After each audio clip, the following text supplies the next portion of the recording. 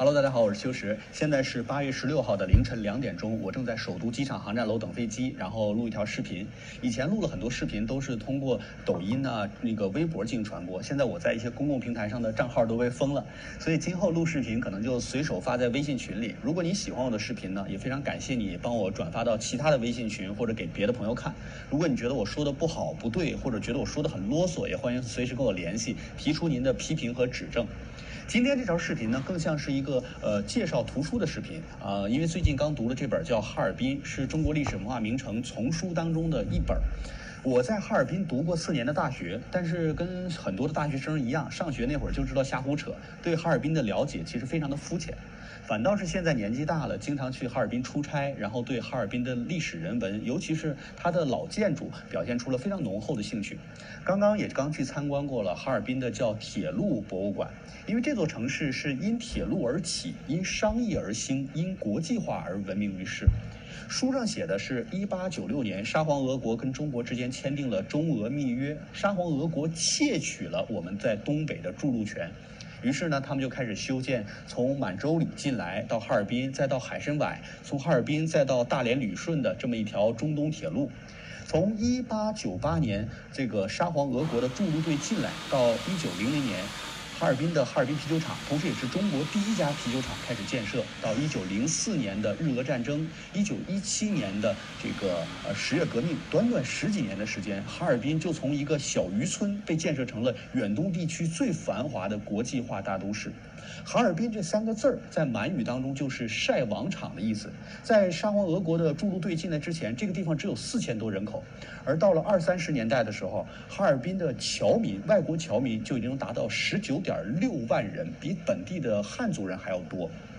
有三十多个国家的侨民在哈尔滨生活，有二十多个国家在哈尔滨建设了领事馆。可以说，哈尔滨是实实在在的国际化都市，也被称之为万国博物馆。当然了，有那么多国家，那么多领事馆，那么多像什么老巴夺烟厂啊，呃。马蒂尔宾馆等等，也留下了很多精美的老建筑。我是一个特别喜欢看老建筑的人，尤其是去那种殖民地、半殖民地遗留下来的建筑。比如说去上海，我一定会去虹口区住；在天津，我一定会住在五大道风景区；在青岛会去八大关。其实殖民地所留下的建筑非常有特色，因为远离宗祖国，所以说在殖民地那儿的建筑师、设计师就可以尽情的开脑洞，尽情的展示自己的才华。在哈尔滨也留下了很多像什么巴洛克式建筑、哥特式风格的建筑，还有折中主义风格的建筑。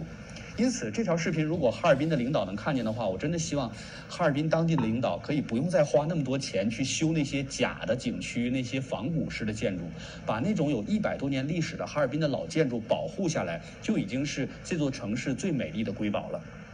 其实作为一个东北人，我们一直在想，哎，怎么重新振兴我们的老东北？大家想了各种方法，好像也没什么特别有效的。每年国家拨了那么多钱，基本上拨给老国企，而国企用来解决那些历史性遗留问题就已经苦不堪言了。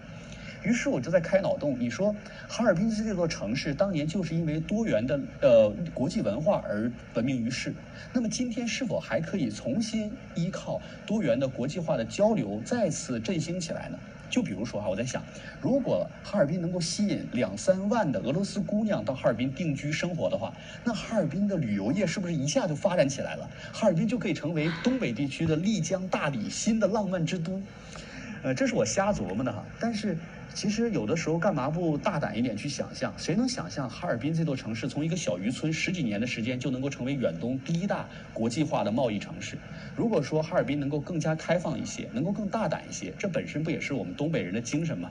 再有就是。很多小伙伴说希望在口才啊，在社交方面能学点技巧。我觉得每个人都有自己热爱的家乡和城市。如果你对自己的家乡、城市的历史人文、风土人情，包括美食，能够如数家珍，那样在社交当中，在你跟女孩聊天的时候，不就能够处于一个非常优势的地位吗？哎，你知道我老家哪儿吗？我老家河南。河南作为中原腹地，真的有好多的历史名胜古迹。你知道天子驾六，天子驾六是什么？你知道吗？哎，这话题不就打开了吗？